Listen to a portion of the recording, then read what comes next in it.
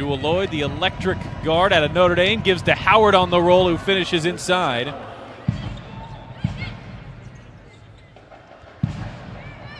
Back down to the post to Howard. She's on Mitchell. She turns in. Howard has an early four.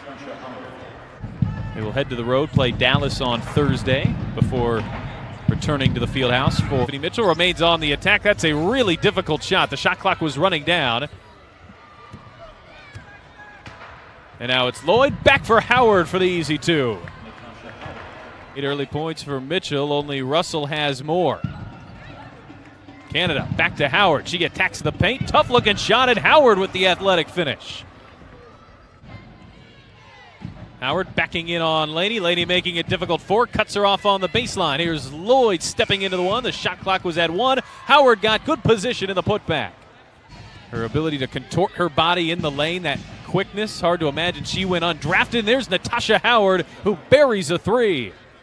But when the team you're playing takes more shots than you, it can nullify that percentage. And now Kelsey Mitchell turns it over. Fever turned it over six times in the first half, have turned it over on their first three possessions. Whitcomb on Mitchell. Found a cutting Howard. That's where she is so dangerous. Off the ball. Head there, over 90% on her season.